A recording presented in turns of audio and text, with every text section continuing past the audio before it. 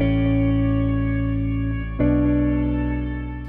am thrilled to stand before you as we introduce these two new buses to our public transportation system. The launch of this e-mobility pilot project takes our existing infrastructure to a whole other level and is genuinely a momentous occasion in the history of Belize and in the history of Belize City. This project represents a proactive stride towards forward-thinking policy with the integration of cutting-edge technologies as a driver for sustainability and progress.